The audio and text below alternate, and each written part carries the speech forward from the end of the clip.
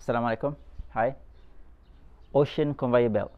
So this is the topics that we're going to learn. So ocean conveyor belt is is a combination of understanding from TS diagram, water masses, and how water move from one place to the other, and a combination of surface current and deep current circulation or thermohaline circulations. So by combining all of this information that we learned from the beginning of uh, physical oceanography subjects until now, so we can define and basically understand what actually happens in what they name as uh, ocean conveyor belt. So ocean conveyor belt basically is a, a process of uh, huge current circulation, a, a combination of all current circulation in the world from surface to bottom and create one conveyor belt system that is actually very important for the um, uh, climate system of the world. So uh, this is one of the quite recent um, understanding from oceanographers. I think since 1960s or 1970s, scientists start to figure out this. You know, they they measure, uh, they they uh, being able to you know fit all these puzzles and uh, define this ocean conveyor belt system.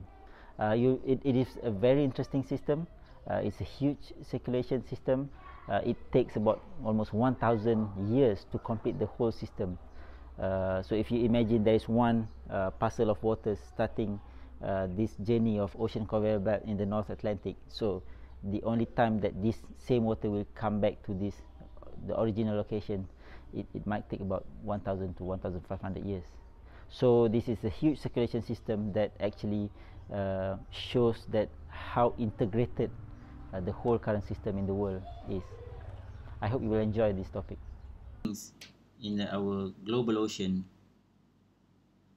So one of the most interesting dynamics in our global ocean is what we call as an ocean conveyor belt. It is part of thermohaline, thermohaline circulation.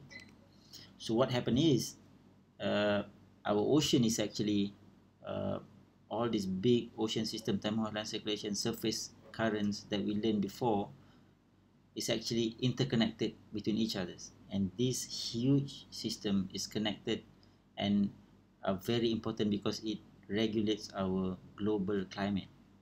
So it have a very huge influence in our climate system. Uh, but it is so beautiful that you can read from uh, even in the Quran uh, Allah ada sebut ya. Uh, Allah membiarkan dua lautan mengalir keduanya bertemu dan keduanya ada batas yang tidak dilampaui. Maka nikmat manakah yang ingin kamu dustakan? So this is actually one example of actually in the ocean there is a characteristics of waters and these water are moving from one place to the other with their own characteristics without being mixed with each others. Of course the mixing happens but this we can define those movement with a very particular uh, characteristics of temperature and salinity.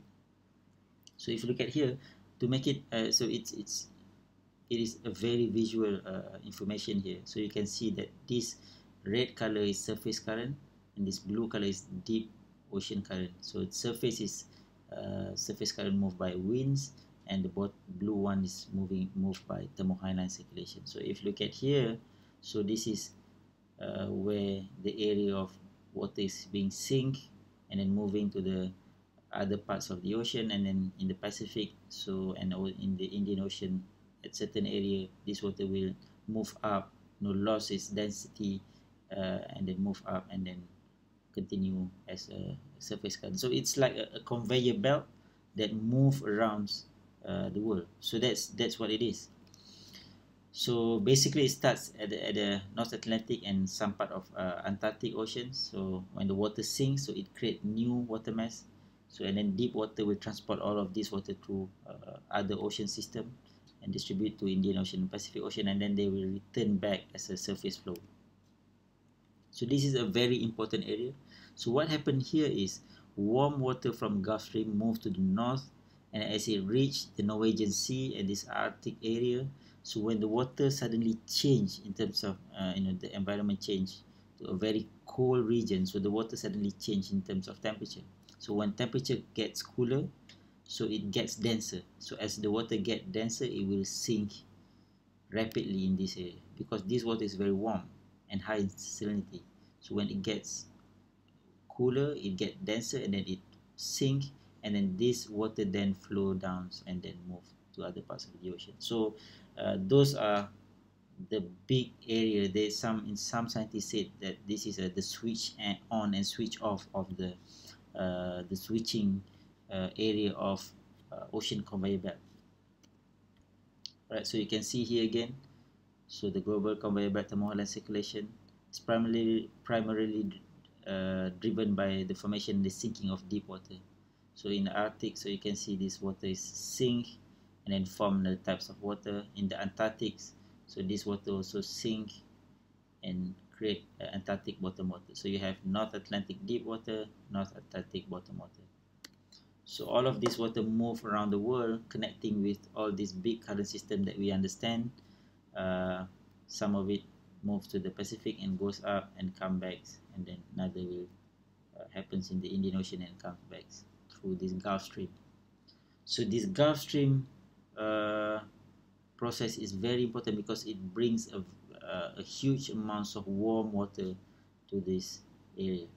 So now scientists start to study uh, the movement of this Gulf Stream because I think um, because it is very much related to the climate change of the um, of the world. So ocean conveyor belts relates very much very much to the climate change.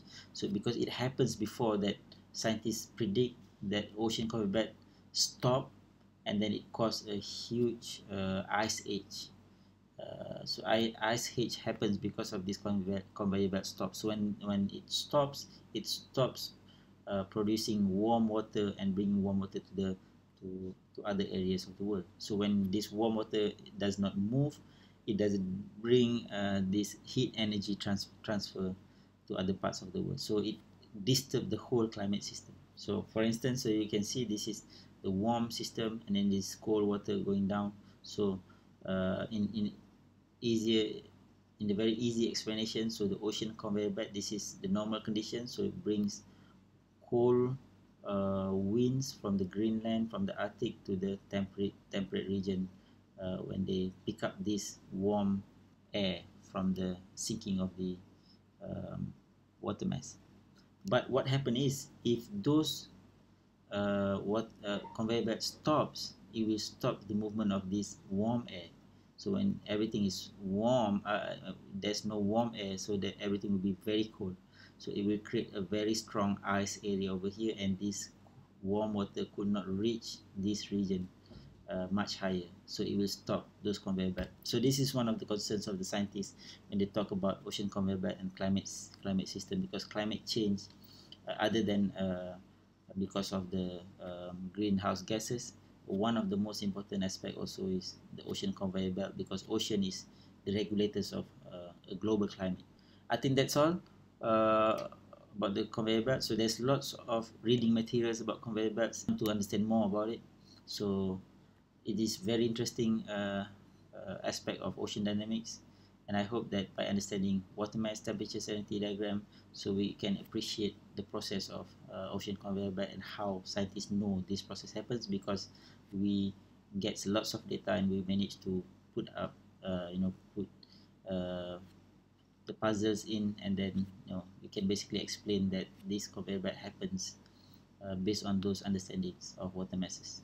So thank you very much. I hope you enjoy your uh, learning process. Bye